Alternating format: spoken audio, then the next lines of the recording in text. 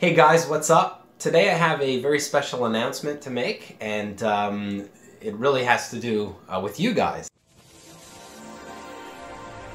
So, I recently hit 500 subscribers on my YouTube channel, and that just blows my mind completely. Um, you know, I never really thought that I would be getting as many subscribers as I have, and I really have you guys to thank. Now, uh, the second part of this video is going to be a giveaway. And uh, I actually have a new giveaway that I am being helped out by the great people at the Great Bowel Movement. And we will be giving away one t-shirt. Um, and they have asked me about my ostomy, asked me about my Crohn's disease, asked me about my J-pouch, and asked me about my ulcerative colitis. So one of those is up for grabs.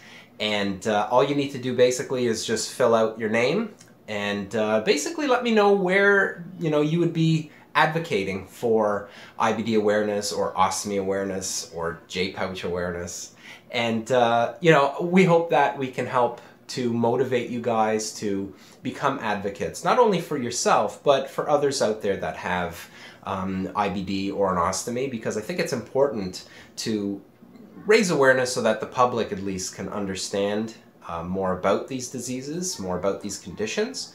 Um, the article actually that I have the giveaway attached to, it's kind of a little story that I had that really happened to me.